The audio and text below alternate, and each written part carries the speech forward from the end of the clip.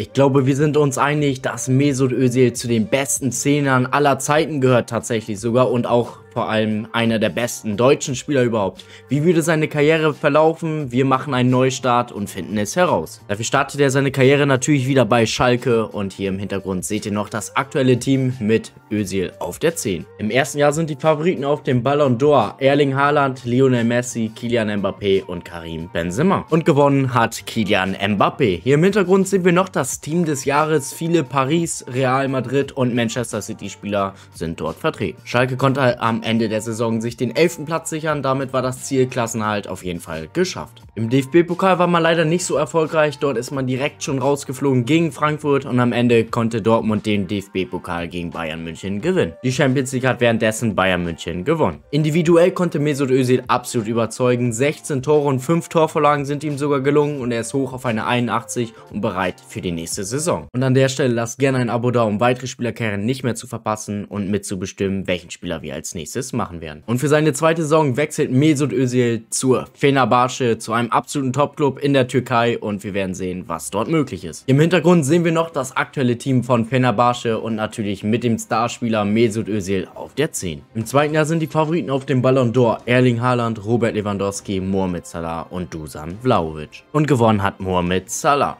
Dieser ist natürlich auch im Team des Jahres vorhanden, wie viele seiner Teamkollegen aus Liverpool, sowie von Barcelona-Spieler, von Manchester City-Spieler und tatsächlich Robertson, der einfach nach Leverkusen gewechselt ist. Fenerbahce konnte am Ende der Saison den zweiten Platz erreichen, musste sich leider im Titelrennen Galatasaray geschlagen geben. Dafür konnten sie im Pokal Galatasaray besiegen und diesen gewinnen. In der Europa League war für Fenerbahce im Viertelfinale Schluss. Dort ist man leider ganz knapp gegen Sporting im Elfmeterschießen erst ausgeschieden und am Ende hat Atletico Madrid gegen Chelsea die Europa League gewinnen können. Mesut Özil hatte währenddessen eine wahnsinnig starke Saison. 35 Tore, 17 Torverlagen, also besserer Zehner ist nicht möglich und er ist hoch auf auf eine 84.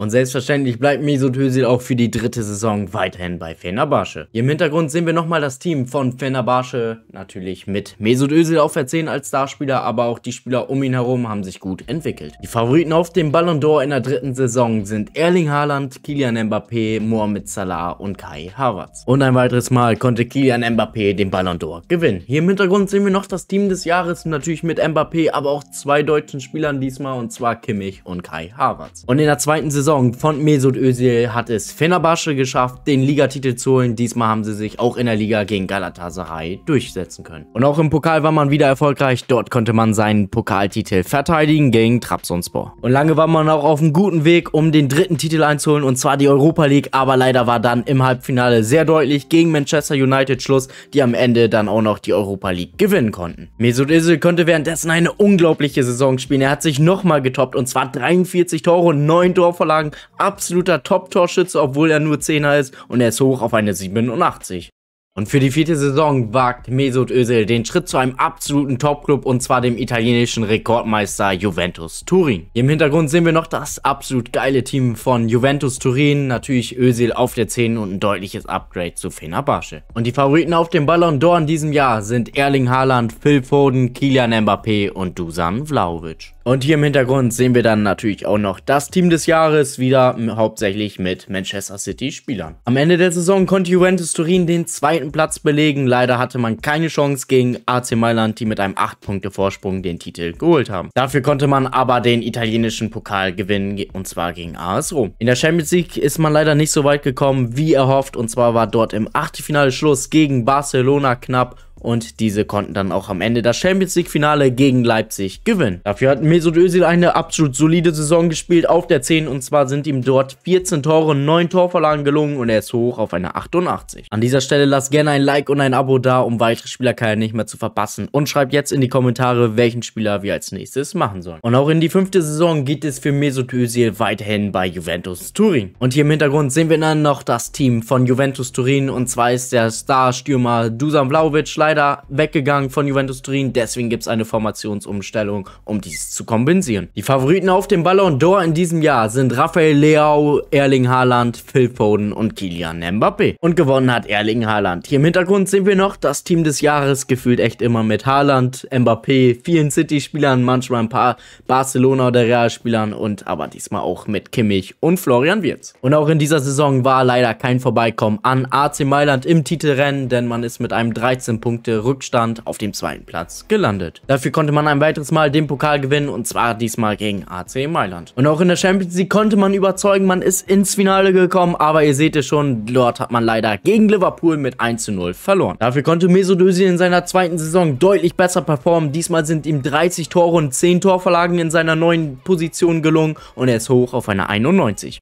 Auch wenn man schmerzhaft das Champions League Finale in der letzten Saison verloren hat, hat Özil weiterhin absolutes Vertrauen in den Club Juventus Turin und geht auch in die sechste Saison mit ihm. Hier im Hintergrund sehen wir dann noch das aktuelle Team von Juventus Turin, die sich auch ein wenig verbessern konnten. Die Favoriten auf dem Ballon d'Or in der sechsten Saison sind Ansu Fati, Kylian Mbappé, Federico Chiesa und De Catalere. Und ein weiteres Mal konnte Kylian Mbappé den Ballon d'Or gewinnen. Hier im Hintergrund sehen wir dann noch das Team des Jahres, natürlich Mbappé immer vorhanden, aber auch diesmal ein Teamkollege von Mesut Özil und zwar Federico Chiesa. Und diesmal hat es Juventus Turin auch endlich mal wieder geschafft, den Ligatitel zu gewinnen und zwar mit einem guten 13 Punkte Vorsprung vor Inter Mailand. Diesmal war im Pokal leider im Viertelfinale Schluss gegen Genua und am Ende konnte AC Mailand das Finale für sich entscheiden. Dafür hat es Juventus Turin dann wieder ins Champions League Finale geschafft. Dort wartete dann AC Mailand, der internationale Konkurrent oder nationale Konkurrent, die sie dann mit 2-1 besiegen konnten. Und maßgeblich für diesen Erfolg war auch Mesut Özil verantwortlich, denn er war absoluter Topscorer in seinem Verein. 34 Tore und 13 Torvorlagen sind ihm diesmal gelungen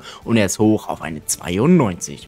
Und es geht in die letzte und siebte Saison dieser Karrieresimulation für Mesut Özil und ich denke, wenig überraschend ist, dass er weiterhin bei Juventus Turin bleibt. Im Hintergrund sehen wir dann noch das Team von Juventus Turin, an dem sich nicht wirklich was verändert hat, nur dass Cody Gagbo für Federico Chiesa ins Team kommt. Die Favoriten auf dem Ballon d'Or in diesem siebten Jahr sind diesmal Kylian Mbappé, Federico Chiesa, Kulowski und natürlich Mesut Özil ist diesmal das erste Mal in der Auswahl dabei. Und Mesut Özil hat es diesmal geschafft, in der letzten Saison diese dieser Karrieresimulation den Ballon d'Or-Titel sich verdienterweise aber auch zu holen. Und selbstverständlich ist er auch im Team des Jahres vertreten und zwar fast mit der ganzen Truppe von Juventus Turin. In der Serie A war es in dieser Saison ein sehr, sehr knapper und spannender Titelkampf zwischen Juventus Turin und AC Mailand, in dem sich dann Juventus Turin mit einem Punkt durchsetzen konnte. Im italienischen Pokal sah es lange auch sehr gut aus, dort ist man dann aber im Halbfinale durch die Auswärtstorregel einfach noch ausgeschieden. Wusste ich auch nicht mehr, dass es die gibt in Italien und am Ende konnte Rom dann auch das Finale gewinnen. Ja, und in der Champions League ist man leider nicht sehr weit gekommen. Dort ist man im Achtelfinale gegen Barcelona ausgeschieden, knapp im Elfmeterschießen und am Ende konnte Manchester United das Champions League Finale gegen Paris Saint-Germain gewinnen. Und auch in der letzten Saison dieser Karrieresimulation konnte Mesut Özil absolut überzeugen mit 35 Toren und 4 Torvorlagen. Schaut euch auch gerne die vergangenen Spielerkarrieren an und schreibt in die Kommentare, welchen Spieler wir unbedingt machen sollen.